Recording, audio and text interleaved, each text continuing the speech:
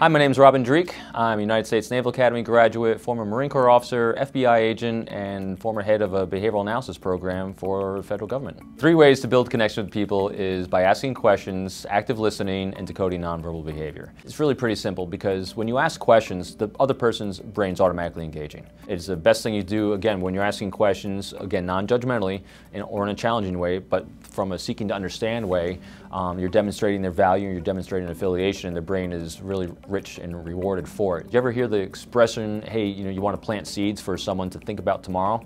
You don't do that by telling someone what to do or telling them your thoughts and opinions. You do that by asking them questions because their brain will engage those things and they can't stop. So that's the first one. Active listening, that is really simple for me because by just demonstrating that you're listening by following up on the statements and the information they're giving you during an encounter. Get rid of the things that you think you had to say in any kind of script and pay attention to what they're saying and follow up uh, with even deeper questions about understanding who they are and their thoughts and opinions. And finally is the nonverbals. And what we're looking for in nonverbal behavior to demonstrate that we actually do have affiliation and liking going on is we're looking for the smiling, maybe a little head tilt, exposing a carotid artery, trusting the world not to rip out my jugular, um, palms up ventral displays, eyebrow elevation, all these things are saying and demonstrating we have liking, we have affiliation, as opposed to the eyebrow compression, lip compression. This is saying you're not doing something right and you need to adjust what you're doing in order to make that connection.